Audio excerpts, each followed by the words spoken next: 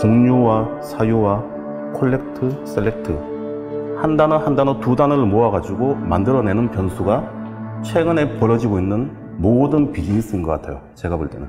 수집된 공유, 어떻게 보면 박물관이 될 수 있고 재단이 될 수 있어요. 수집된 사유는 상업 갤러리가 되는 거고 경매사가 되는 거예요. 선택된 사유는 이제 취향과 철학이 담겨 있어야 되고 실제로도 2017년에 지금 바깥에서는 저걸 가지고 비즈니스를 굉장히 잘 하고 있어요. 거무고나 바둑판을 곁에 둔다거나 아니면 정원을 경영한다거나 음, 것들과의 모임에서 담론을 한다거나 아마 이런 것들을 서로 주고받고 향유하는 것들을 조선시대에는 아취 있는 행동이라고 많이 표현을 했었어요. 세속적인 것, 실용적인 것과는 좀 거리가 있습니다. 그래서 심리적인 어떤 부분들을 강조하는 특징이 있고 혼자 하지 않아요. 정원을 경영하는 것은 나 혼자서 즐기려고 정원을 경영하지 않습니다.